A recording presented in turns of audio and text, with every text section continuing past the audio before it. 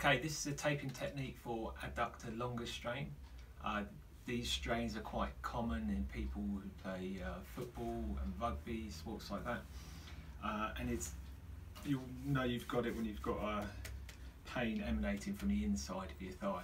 Okay, so adductor longus, one of the five leg adductors, it lives up on the pubic tubercle, excuse me, so this bony prominence on the front of the pubis bone, so very high up into the groin, and then comes down and attaches into the linea aspera, which is a bony line on the inside of your thigh, ending around about here.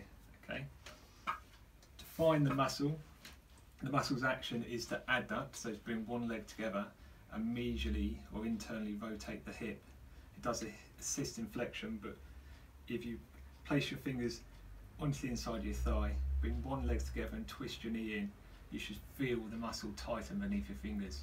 And equally, if you go the opposite direction, you'll feel it slacken off. And that's just a good way of making sure you are taping the correct muscle, okay? So we've identified it just above the hamstring and below the vastus, running, like I say, all the way up from the pubic tubercle down like this. So there, there's my adductor longus running down. To tape it, we're going to apply two pieces, uh, two I strips, which we've already pre-rounded off, and we're going to take one so we're coming onto the top half of it and above, and one onto the bottom half of it and below, like so. Okay. So we'll take our first I strip, remove roughly an inch, taking off the backing, trying to be careful not to touch the glue, and attach it with no stretch quite high up in the groin. From here, we're going to give a little tug, peel the backing off, leaving ourselves about an inch, and then putting the muscle on stretch by bringing the knee out to the side, we're going to apply about 25% stretch on the tape, lay it down, and then finish with no stretch at the end. Take our second strip, put it in the same way,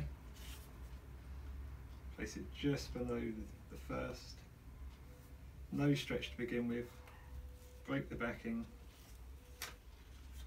and then again, just under 25% stretch, lay it up with no stretch at the end.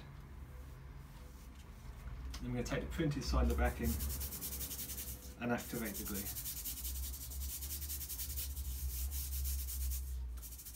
And there you go, taping for adductor longus.